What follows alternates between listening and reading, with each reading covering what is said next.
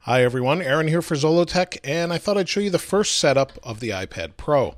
I've never turned it on, so let's go ahead and turn it on here and take a look. This is just the Apple Smart Cover. I unboxed it in a separate video, and uh, again, this is just a, a huge device. It's it's really quite heavy and it looks good, and the screen's pretty high resolution, but I'm not sure if it's a true production or a pro device. It doesn't have expandable storage and it's only got a lightning adapter in the bottom, but only time will tell and I'll let you know in a separate video for that. So let's go ahead and slide to setup.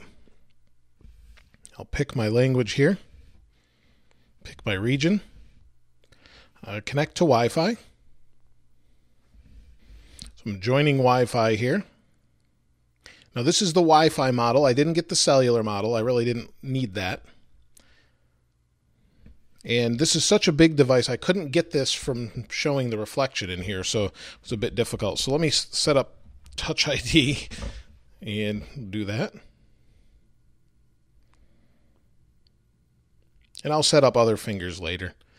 I'll make it easier. There we go. Adjust my grip. I'm not sure what they want me to do here. I guess I'll just go at it from different angles.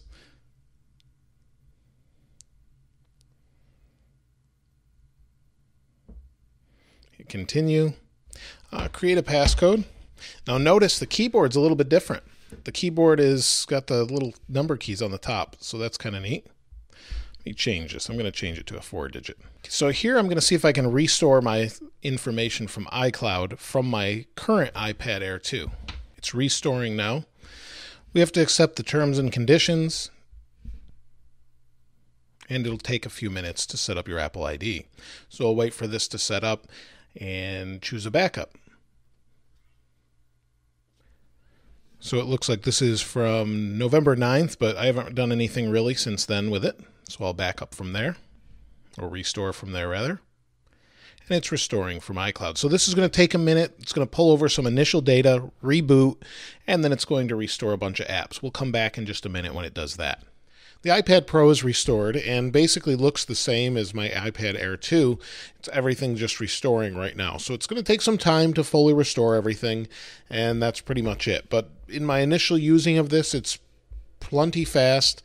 Uh, I've got a lot to restore, and it should be interesting to see if this is actually a productivity device more so than just a consumption device. I can say that the speakers in it sound fantastic compared to the iPad Air 2. The Air 2 has a clear speaker, but it's just one. This has four speakers, and it sounds really good. So I've been watching some video on it before uh, filming this video and and listening to some of it while some of this restores, and it's it's quite good.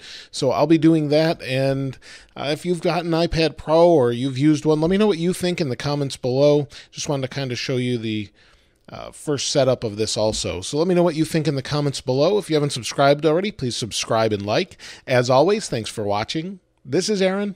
I'll see you next time.